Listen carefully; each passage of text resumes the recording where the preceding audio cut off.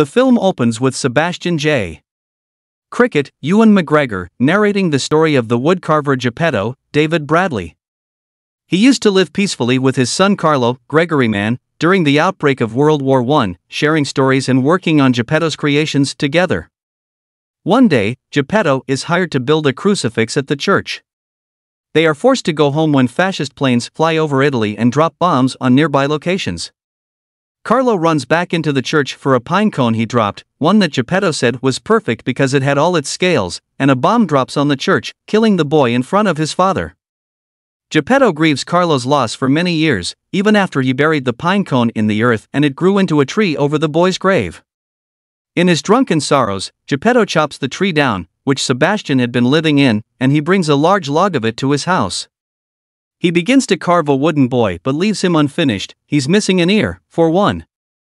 Geppetto passes out, and Sebastian is left to wander the house since he stowed away in the log. At night, several eyeball spirits enter the house and form the body of the wood sprite, Tilda Swinton. With her magic, she gives life to the puppet, which she names Pinocchio, also Gregory Mann. Sebastian protests this, but the wood sprite requests that the cricket guide Pinocchio in his life in exchange for a wish. He agrees, hoping to use the wish to gain fame and wealth. Geppetto wakes up in the morning to find Pinocchio alive and playing around the house. He is freaked out at first upon seeing a talking wooden boy and a cricket, but Pinocchio expresses childlike excitement at everything he finds in the house. Geppetto has to go to church, so he locks Pinocchio in the closet and orders him to stay there.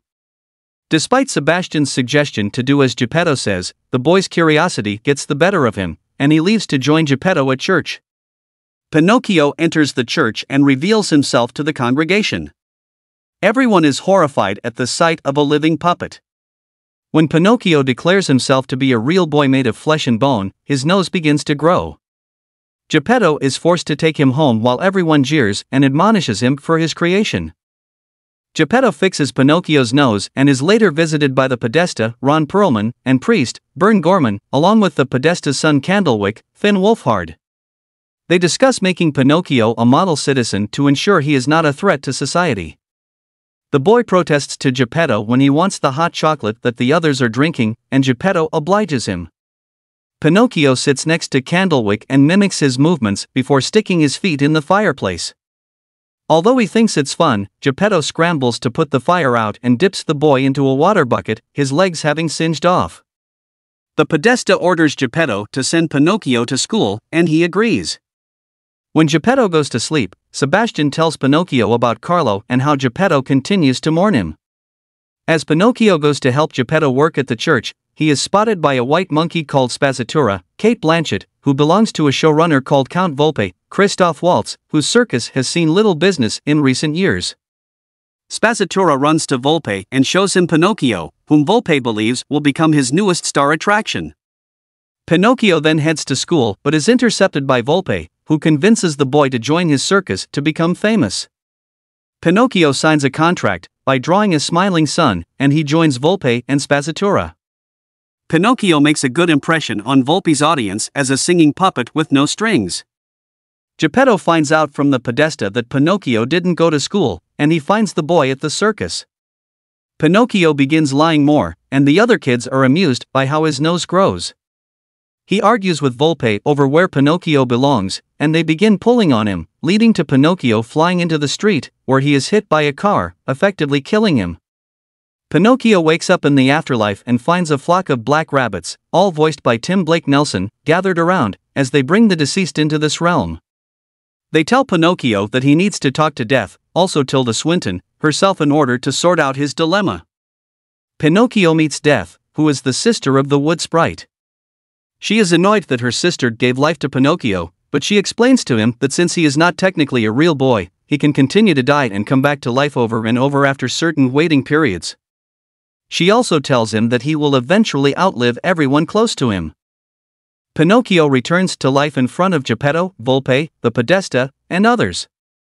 The Podesta thinks Pinocchio being immortal can make him a useful soldier in the war, but Volpe insists Pinocchio belongs to him since he signed the contract and claims that Geppetto would owe him money.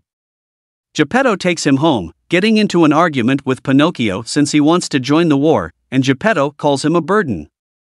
This makes him sad since he thinks Geppetto really means it, but Sebastian tries to convince him otherwise. Thinking he can help his father financially, Pinocchio runs off to join the circus, trapping Sebastian under a cup to prevent him from stopping him. Pinocchio returns to Volpe and asks that he send Pinocchio's earnings to Geppetto, to which Volpe agrees even though he is clearly lying. Geppetto finds Sebastian after he freed himself, but was knocked unconscious, and finds that Pinocchio has fled. After Geppetto sits to feel sorry, Sebastian tears into him about how Pinocchio gave him love and Geppetto just made him feel bad. They resolve to go and find the boy themselves. They take a boat to an island where he may be headed, but they are devoured by a sea monster. Pinocchio continues to be a hit for Volpe's show. Spazzatura uses marionettes to speak to Pinocchio, saying that Volpe isn't actually sending Geppetto his money and that he is using him, while also claiming Spazzatura is his favorite. Pinocchio doesn't believe Volpe would do that, and the Count overhears. He beats Spazzatura for trying to turn Pinocchio against him, but the boy confronts Volpe for his treatment of the monkey. Volpe shows Pinocchio his true colors and says he is the master of both him and Spazzatura, threatening both of them if they try anything against him again. Volpe puts on a show for Prime Minister Benito Mussolini, Tom Kenny, as he is said to like puppets. Pinocchio then puts on a crude display to mock Mussolini in front of Volpe as payback. While the children in the audience are amused, Mussolini is not, and he orders Pinocchio to be shot and for the circus to be burnt down. Pinocchio returns to the afterlife and waits to be revived. Pinocchio reawakens on his way to a fascist training camp along with the Podesta and Candlewick. While there, Pinocchio befriends Candlewick, as he reveals his feelings towards his father for how he is trying to mold him into his image and fight in an unnecessary war. They play a game of capture the flag using paintball guns and have fun doing it, but when they announce that they reached a tie, the Podesta orders Candlewick to break the tie and shoot Pinocchio with a real gun. Airplanes then begin flying overhead to attack. When the Podesta continues to demand Candlewick pick up the gun, he stands up to his father for the first time. The Podesta attempts to shoot Pinocchio himself, but Candlewick hits him with a paintball gun and gets him caught in a net, trapping him just as he watches a bomb drop down on him and the school. Pinocchio is thrown into the ocean but is found by Volpe and Spazzatura. The Count ties Pinocchio to a cross and prepares to burn him for costing him his show and humiliating Mussolini. Pinocchio pleads with Spazzatura, and the monkey finally turns on his master.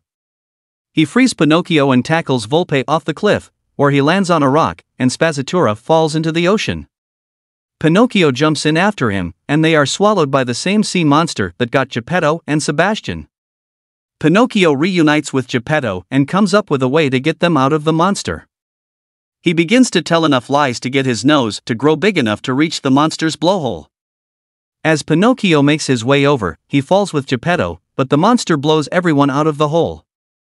The monster then goes after Pinocchio, who has found a sea mine, and gets the monster to latch it onto its tooth. The monster then starts charging toward Geppetto, Sebastian, and Spazzatura, but Pinocchio activates the mine and blows the monster to chunks.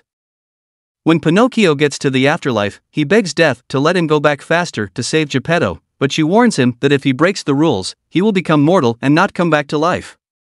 Pinocchio shatters the hourglass that sends him back, so he goes immediately to save Geppetto from drowning. Everyone reaches the shore, but Pinocchio is dead for real. Geppetto weeps for his son, and the wood sprite appears from behind him. She tells Geppetto that Pinocchio's sacrifice for him made him a real boy, but he cannot come back. Sebastian then uses his wish to bring Pinocchio back to life, and the wood sprite grants it for him.